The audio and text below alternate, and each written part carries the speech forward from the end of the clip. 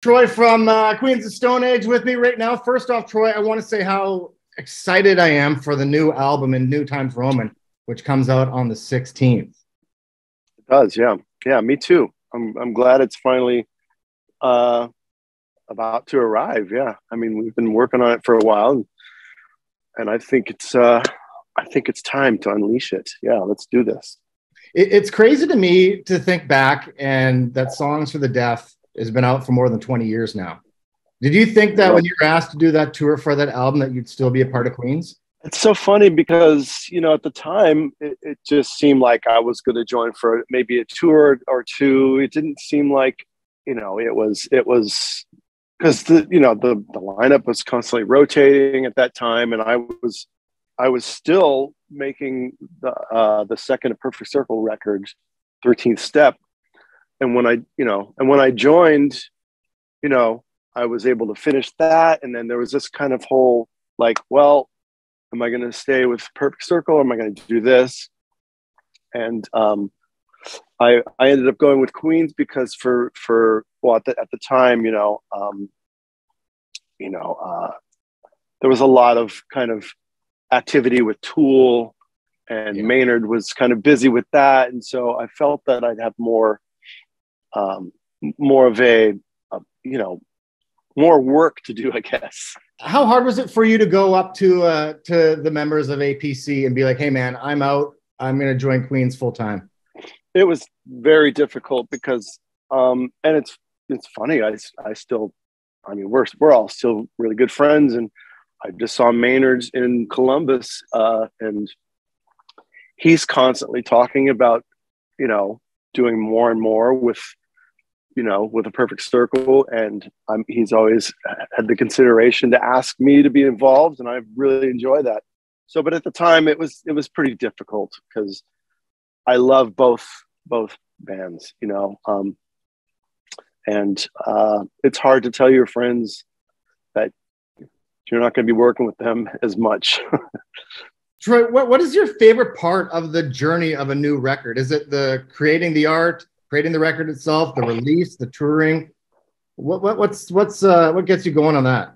Well, I would have to say that for some, you know, for some reason, I think, you know, I, I mean, also, we've just been through this crazy pandemic thing that that didn't really help the process of us making this record. Um, you know the making of the record is a labor of love and it's it it, it takes an, an, intense amount of attention you know and you know and you're like well you know what are you doing? You're in a rock and roll band and, and you know you're not like curing cancer. But for us it's a very you know intense sort of like paying attention to detail. The lyrics have to be perfect. And you know there's got to be this sort of balance of like you know you're yeah you're making a song but the performance needs to be wild or has to has to fit you know it has to we have to you have to kind of say something with your performance so you have to be in a mindset um so it's it's a it's a it's a lot of you know it takes a lot of time and a lot of mental um strength. So the making of the record, you know, is its own sort of reward when it's done. Mm-hmm. Um, but I kind of like this this this part of the, the process right now, where we're in between like you know announcing the new record and putting out a song here and a song there and hearing the feedback. I feel like there's an excitement that I you know like you brought up, you know, songs for the deaf. There was that kind of excitement too before the record was released. That you know, yeah. I kind of get I get off on that sort of like like kind of in between the record and the tour phase of like it feels like a wave swelling, you know, and, and you're about to jump on your board and and take this wild ride. So I'm enjoying that part that this part of the process right now. I'm talking to folks like you, and and you know, you, you seem you know like I, I I'm assuming you've heard some of it at least. Oh yeah, I've, I've heard I've heard the two the two songs that have been released off of it. And yeah, uh, okay. yeah, that's what makes me so stoked about this album, man. So yeah, it's I, I am stoked about it too because it's it's a good rock record. Um, and you know, that's what we do. We're we're a rock and roll band. Um, I, there's guitars, you know what I mean? There's guitars. Yeah. Drum drums and you don't see you don't hear a lot of that anymore. That you don't really. That's my. And it's sort of like it's kind of like a back to the basics kind of Queen's record for us, I think.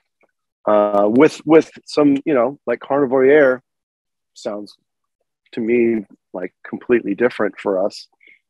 But, you know, that's part of it too. New new stuff is always trying to spread your wings and, and do something different is is also rewarding when it's when it when you know when you listen back and you go, oh, yeah, cool.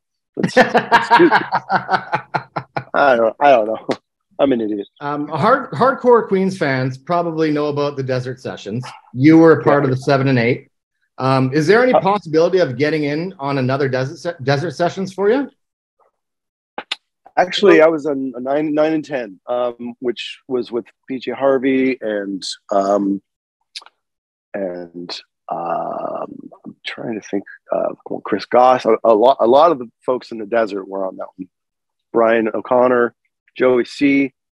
Um, and uh, so, I guess the philosophy of the desert sessions is like you get asked to do it. You know, I mean, mm-hmm. Josh doesn't take requests. You know, for that, he's the one picking and choosing all the all the characters.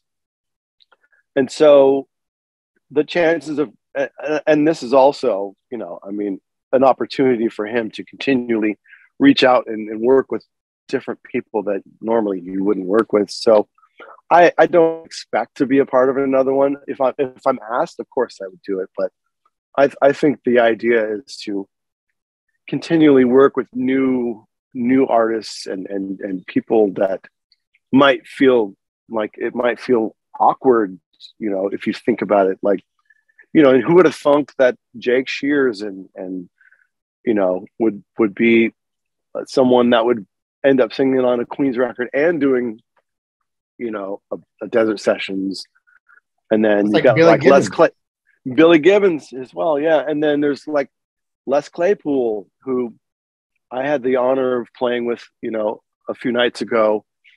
Um, He's so good wonderful person. Um, the Primus guys are, are some of my favorite people.